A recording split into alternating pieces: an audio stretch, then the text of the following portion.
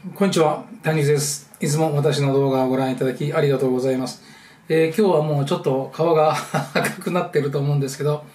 今日は嬉しいことがあって、えー夕方の6時ぐらいからもうワインを飲んでます。えーあと残りを無理くりこうやって入れました。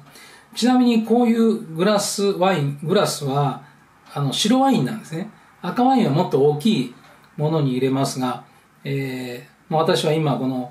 実家の事務所の3階にいるので、1階が私の実家なんですけど、そこで私と母と妹で食事をして、私一人こうワインを飲んでますので、残った分を思いっきり入れて持ってきました。これね、結構重要なんですね。これは白ワインっていうのは、こう、白ワインのグラスっていうのはちっちゃいワインで、赤ワインっていうのはもっと大きな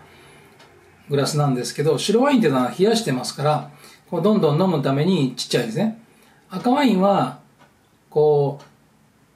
空気に触れさせて、こうやって色がね、変わ、あの、香りが変わってくるので、もっと大きいんです、本来は。で、まあ、デキャンターといって、こういう大きなものに入れて、こう飲むっていうこともあるんですけど、えーちょっともう今、あの、私の家に持って帰ってるデキャンターがないんで、えーこんな感じで、え入れてます。ぜひね、あの、こういうのも覚えていただくといいと思います。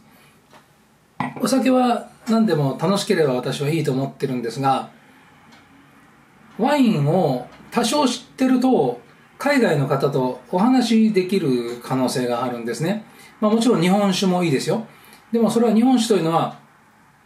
日本に関心を持ってる人しか日本酒には関心がないじゃないですか。で、日本に関心を持ってる方っていうのは日本酒のうんちくを話してあげるとすごく喜んでくれるんですが、まあほとんどの人はそんなことないので、ワインのことをちょっと、ちょっとだけね、知ってると。なボルドーとかね、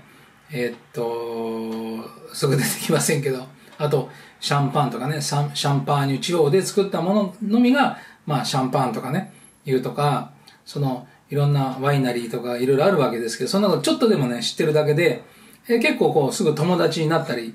できるので、ワインは、あ多少なりともね、えー知っておかれるといいと思います。まあ今日は全然あの、私の本業とは関係ない話なんで、ちょっと今日は気持ちがいいので、えー赤い顔をしながら動画を撮ってみました。まあ何が楽しかったかというと、今日はあの母を、いつも認知症のね、ちょっと認知症になりかけてる母の話をしてますけど、母を連れて私と母と妹で大阪の梅田っていうところに行きました。梅田っていうのはセンターオブ大阪ですね。大阪の中心地。えーまあ東京の次にまあ一応でかいと言われてる大阪ですけども、そこの中心地の阪急百貨店っていうのがあります。えーそこに私と母と妹で行って、えーまあ食べたいものを買って、今日持って帰ってきて、こうちょっと調理してね、食べたんですけども、まあやっぱりいいなと思いました。えーまあ、もし、えーご両親がご健在でなければ、なけごぜご健在でああれば、まあ、今のうちにですね、えー成人になられても、えーそういうお父さんお母さんとの一緒にね、えー食事をするっていうのは、あすごくいいことだなと、えー思います。私の父はもう8年ぐらい前も亡くなってるんですけど、もうちょっとそのね、父と飲んだりとか、食事したりできたらよかったかなと今思い返しているところです。えー認知症の情報とか、私の考え方とかアップすると、まあ、よくコメントとかいただいたりするんですけど、まあ本当に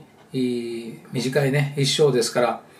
えー皆様お父様お母様ご健在であれば、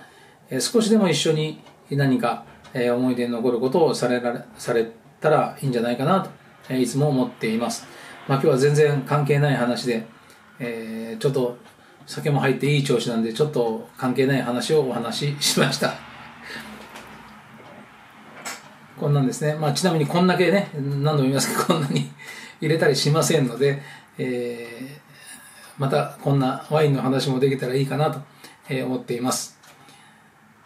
今日の話が 参考にはならないと思いますけど、面白かったなと思う方、いいねをよろしくお願いします。えーチャンネル登録のまだの方は、チャンネル登録をよろしくお願いします。えー今日も最後までご覧いただきまして、ありがとうございました。それでは、ソンテ